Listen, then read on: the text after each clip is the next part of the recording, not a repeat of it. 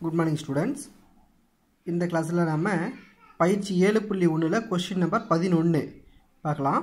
F of x கொடுத்துக்கிறாங்கப்பா. என்ன கொடுத்துருக்காங்கன்னு பாருங்கள் ஒரு அணி தான் cos x minus sine x zero sine x cos x zero zero zero one அப்படிங்கிற ஒரு அணி கொடுத்துட்டு எனில் f of x into f of y equal to f of x plus y என நிறுவுக. இது வந்து இம்பார்ட்டன்ட் ஃபைவ் மார்க் தான். இதில் வந்து எஃப் ஆஃப் எக்ஸ் கொடுத்துக்கிறாங்களா? அப்போ எஃப் ஆஃப் ஒய் நம்ம எழுதணுமா? அப்படி எப்படி எழுதுகிறோம் அப்படின்னு பார்க்கலாமா? எஃப் ஆஃப் எக்ஸ் இஸ் ஈக்குவல்ட்டுன்னு போட்டு தீர்வில் கொஷின் இருக்கிறத எடுத்து அப்படியே எழுதிருங்க. F of y is equal to அப்படின்னு போடும்போது இங்கே எங்கெல்லாம் எக்ஸ் இருந்துச்சோ அது எல்லாம் ஒய்ன்னு மாறும். இப்போ cos x என்னவாயிரும் cos y minus sine x minus sine y zero zero zero அப்படி தான் வரும். சைன் எக்ஸுக்கு சைன் ஒய் காஸ் எக்ஸுக்கு காஸ் ஒய் மீதி நம்பர்ஸில் அப்படி தான் வரும். Zero zero one zero zero one அதெல்லாம் அப்படி எழுதிக்கோ. F of x into f of y ரெண்டையும் பெருக்கலாமா? ஈக்குவல் டு எஃப் ஆஃப் எக்ஸுங்கிற அணி எடுத்து இங்கே எழுதிரு. எஃப் ஆஃப் ஒய்யோட அணி இதில் எழுதிருங்க. அடுத்தது இதை எப்படி பிரிக்கலாம்? நிறை பை நிரல். அப்படி பிரிக்கலாமா? Cos x cos y minus sine x sine y plus zero அந்த ப்ளஸ் ஜீரோங்கிறது நம்ம விட்டுடலாம் இப்போ cos x cos y minus sine x sine y மட்டும் இருக்கும். அடுத்தது first row second column minus sine x cos y ஏன்னா இங்கே மைனஸ் வந்துருச்சு. Sine cos x sine y plus sine x cos y minus cos x sine y இல்லை அடுத்தது minus தான். Minus cos x sine x cos y minus sine x cos y அடுத்தது zero into zero plus zero தான். அது நம்ம போட தேவையில்ல. அடுத்தது first row third column cos x into zero zero sine minus sine x into zero zero zero into ஒன்று zero டோட்டலாக ஒரு ஜீரோ மட்டும் நம்ம போட்டோம். சரி ஆர் ஒன்று எடுத்துக்கிட்டு மூணையும் பிரிக்காச்சா இப்போ ஆர் டூவை மட்டும் எடுத்துக்கிறோம். ஆர் டூனா sine x cos x zero அதை மட்டும் ஞாபகத்தில் வச்சுக்கோ. அப்போ sine x into cos y cos x into sine y zero into zero அது போட தேவையில்ல. Sine x into cos y plus cos x into sine y அதே R two C two minus sine x sine y plus cos x cos y okay zero into zero zero போட தேவையில்ல. அதே R one R two C த்ரீயா sine x into zero zero cos x into zero zero zero into one zero டோட்டலாக ஒரு zero மட்டும் போட்டால் போதும். Third ரோவுக்கு வர்றோம்.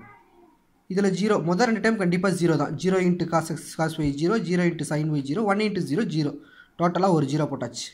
இதை பெருக்கும்போது இங்கே ஜீரோ இருக்குது இதுலேயும் ஜீரோ இருக்குது ஒன் இன்ட்டு ஜீரோ ஜீரோ டோட்டலாக ஜீரோ இதை பெருக்கலாம் zero into one zero zero zero into zero zero one into one one போட்டாச்சா? அடுத்தது இது என்ன ஃபார்மேட்டில் இருக்குன்னு பாருங்கள் இந்த நாலு தான் நம்மளுக்கு மெயின் இம்பார்ட்டன் ஏன்னா இந்த ஜீரோ ஜீரோ ஒன் இந்த ஜீரோ ஜீரோ இப்படி பார்க்கும்போது ஜீரோ ஜீரோ ஒன்னுங்கிறது வந்து நம்மளுக்கு கான்ஸ்டன்ட் தான். இது என்ன ஃபார்முலா இருக்குன்னா cos a cos b minus sine a sine b ரெண்டு காசும் ஒன்றா வருது ரெண்டு சைனும் ஒன்றா வருது. அப்படி வந்துன்னா இது காஸ் ஃபார்முலா காஸ் ஃபார்முலாவில் குறி எதிர்குறியாக வரும். இப்போ cos of x plus y ஏன்னா மைனஸ் வந்தனால ப்ளஸ்ஸு சரி இதுவும் பாருங்கள் சைனு காசு கலந்து வருதா? Sine sine a cos b plus cos a sine b அந்த இடத்துல கலந்து வரனால சைன் ஃபார்முலா சைன் ஃபார்முலாவுக்கு அதே குறி வரும். அப்போ இது sine of x plus y இந்த ஜீரோ அப்படியே இருக்குது. சரி இந்த லைன் பார்க்கலாம். ரெண்டுலேயுமே மைனஸ் இருந்தால் கண்டிப்பாக அந்த மைனஸ் வெளியில் போட்டுக்கலாம். அப்போ என்ன இருக்கும் நம்மளுக்கு? இதை ஃபஸ்ட்டு படிங்க. ஏன்னா கலந்து வருது இல்லையா? சைனு காசு கலந்து வரும்போது சைனு தான் ஃபஸ்ட்டு படிக்கணும். Sine a cos b plus cos a sine b அப்படி இருக்கா? அப்போ sine of x plus y sine of x plus y already ஒரு மைனஸ் தான் வெளியே எடுத்துட்டோம். இது அதே மாதிரி தான். சைன் ரெண்டு ஒன்றா வருது காசு ரெண்டு ஒன்றா வருதா? இப்போ இதை ஃபஸ்ட்டு படிங்க. Cos a cos b minus sine a sine b okay அப்போது இது வந்து காஸ் தீரத்தில் எதிர்குறி போடணும் மைனஸ் இது மைனஸ் தான் நடுவில் வருது.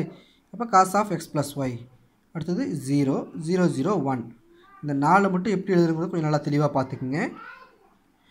இது வந்து காஸ் ரெண்டு ஒன்றாவது ஆக்சுவலாக இந்த கிராஸில் வர ரெண்டுமே காஸ் ஃபார்முலா இந்த கிராஸில் வர ரெண்டும் sine formula cos a cos b minus sine a sine b அப்போ cos of a plus b cos a cos b minus sine a sine b அப்போ cos of a plus b இது ரெண்டும் ஒரே formula தான். என்ன இது ரெண்டும் இடம் மாதிரி இருக்குது. அவ்வளோதான் வித்தியாசம்.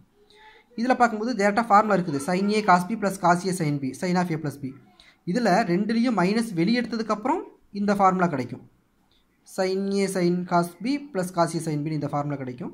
அதாவது இது கிராஸில் இது ரெண்டு ஒரே ஃபார்முலா இது ரெண்டு ஒரே ஃபார்முலா எழுதிட்டோம். ஈக்குவல் டு எஃப் ஆஃப் ஏன்னா இது நம்மளுக்கு உங்களுக்கு வெரிஃபை பண்ணுறதுக்கு ஈஸி என்ன இருக்கும்னா இந்த எக்ஸ் எங்கெல்லாம் நாலு இடத்துல வந்திருக்கோ அந்த நாலு இடத்துலையும் எக்ஸ் ப்ளஸ் ஒய்னு வந்திருக்கும் பாருங்கள் cos x plus y sine x plus y இருக்குதா? Minus sine x plus y cos x plus y இருக்கும். அப்படி தான் இருக்கும். அப்போது எக்ஸ் இருந்தால் எஃப் ஆஃப் எக்ஸ் ஒய் இருந்தால் f of y x plus y இருந்தால் f of x plus y அப்போ therefore f of x into f of y is equal to f of x plus y என நிறுவப்பட்டது. Okay.